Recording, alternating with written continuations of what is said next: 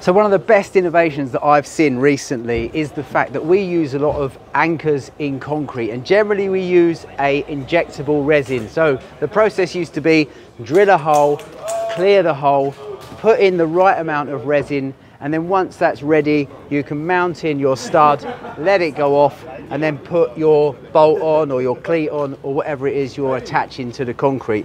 So Sergio, let's look at this new packet resin, okay? So tell me a little bit about that. So this is a capsule that when combined with a naked screw, so you can use them naked like this, but if you combine it with this uh, mortar, this chemical piece, you have an hybrid hanger, Right. which increases a lot the load capacity uh, of the uh, base plate that you are uh, fixing. And it has also one nice feature because it's a chemical anchor, but it's super fast cure. Is so it? you can really install it and go to the next one. You don't need to wait like the traditional mortars some hours until you can come back to, to tighten the, the nuts. And with regards to these fixings, you were showing us yesterday about how your new device can scan a box and it knows exactly what the fixing is and it will adjust certain parameters like the torque, how much torque you need to attach the nut to make it meet like the criteria set out by engineers, for example. Yes, so Rob. Show us how that Yeah. works. So, Rob, that's a surprise I will bring you for later because Okay. for this specific anchor,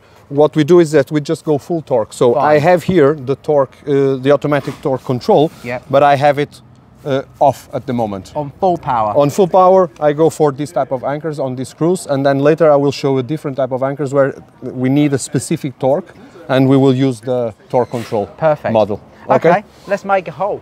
Then let's do it.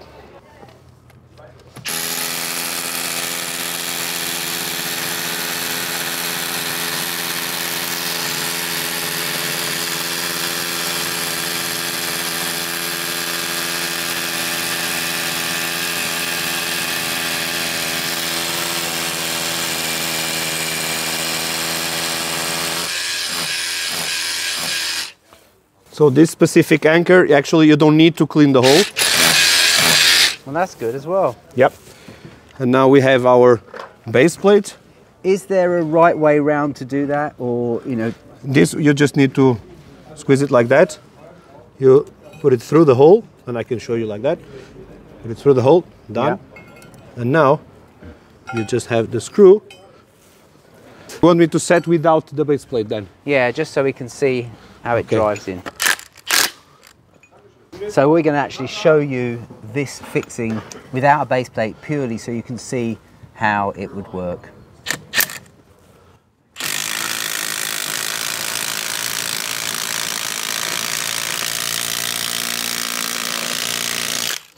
Done. See a little bit of mortar there Super outside. impressive, isn't it? And I can show you also what happens inside the hole. So the screw destroys the capsule, mixes the components Amazing. Why is it all different colours? uh, because it's different chemical components. Okay, fine. And um, you still have some time if you need to adjust the base plate because it's not fully cured yet. How long does it take? About uh, an hour, Oh, that's good. depends on the temperature. Yeah, yeah, that's really impressive. Makes the job so much easier. The Yeah. fact you haven't got to clean the hole as well. Yeah, I like that. Thank so you. now we're going to take a look at this device on the back of this, which is going to control the torque, but it's a bit more intelligent than that because it's it's going to know through the fixing that you've chosen exactly how much power to deliver. So let's have a look at that, Sergio. Let's go. So, you know, actually getting the studs in involves pretty much clouting them with a club hammer or something seriously heavy like that. But you've got a new solution, which is it's an SDS looking Conex shaped bit. And show us how that's going to improve this job. I've not seen this before.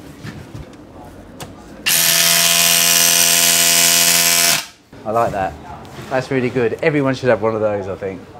And tell us now about what you're going to do. You've got your Yeah. stud, you're ready to tighten things up. So this stud is ready to go, and I have here the box of the studs. So I simply use the intelligent torque control. I scan the box. It recognizes which anchor or stud, in this case, we are using, and then we just lock the settings. And we are now going to use the tool to torque it to perfection. So that now knows how much torque you're going to deliver. yes, for this particular M16 size. Brilliant. So we just like this, and we keep pushing it till we see the green light and uh, a sound. Green light, perfect torque.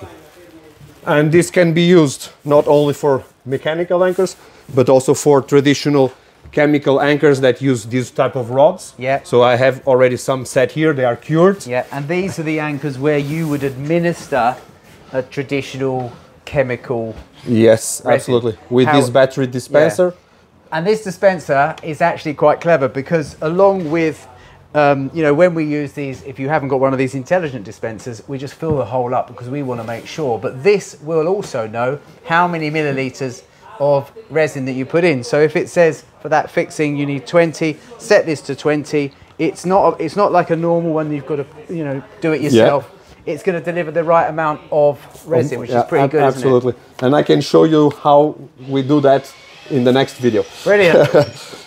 So now we are going to set that um, anchor here. As I said, it's a mortar and we need to set this screw. So I'm going to again scan the box of these rods. It recognizes what rod it is. So that's these rods that we have been using here. And you can see also now how fast is and easy to set them all. To set it. Done. Done. Done. Done. And this is how fast you can be setting anchors exactly to the same torque, each one of them.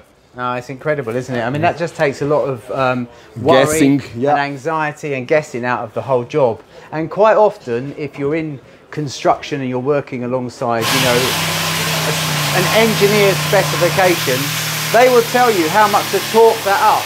And Yeah. you would you would have used a torque wrench, and if you know how hard they are to use, let alone you know if you're doing 50 fixings, you know a torque wrench like that, it's just so time consuming and old fashioned. And isn't there some somehow of recording the data as you go? Yes. So I can also show you something else. So if you remove the battery, you see here this little port that you can connect with your computer with the software that we have. And you can export the data of each anchor that you have set. So if there is inspection, come and say, let me see how the last 100 anchors or 500 anchors that you have installed, if they are to the right torque. You export the data and you create that report. On top of that, every time we launch uh, new anchors that can be set with this intelligent model, you also use the same port and you update the, the model. Okay. This module goes with this tool, but also goes with a, let me say, the small, the, the, the, the smallest brother, which is the SIW4. That was Tiny, isn't it? yeah, uh, that was the six. This uh, is very nice for um, anchors from M8 to M12, Hmm.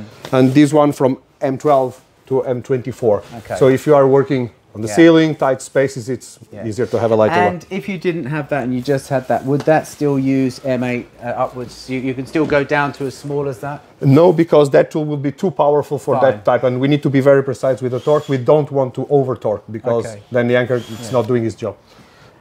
That's impressive, isn't it? I mean, I really do like technology. And I think that's the whole thing about this whole um, advance in power tools. It's not just the powers of motors, brushless this, and all the rest of it. You've got now uh, some really sophisticated electronics, thanks to technology, that enable us to do things that we couldn't really do before uh, and save time and increase productivity. Absolutely, that's what we care. And if you end up there, if you think about a base plate application, we bring you productivity in every step, Yeah. from the drilling and cleaning, consuming less mortar, and also what we just saw, being faster on the torquing. Well, I'm super impressed with that, and I'm looking forward to being out on site trying out those new simple sleeves that you put in. I just think they're going to be really good. Do they have a shelf life? Uh, these they have, they have. So- it's, it's it's about 12 months. 12 months, okay, and they come in boxes of 50 or so. Uh, depends on the size. It goes from 10 if they are big sizes, or 50 if they are really small size, yeah. like M8. yeah, brilliant. All right, well, thanks, mate. Thanks, Rob. Cheers, thanks. Cheers.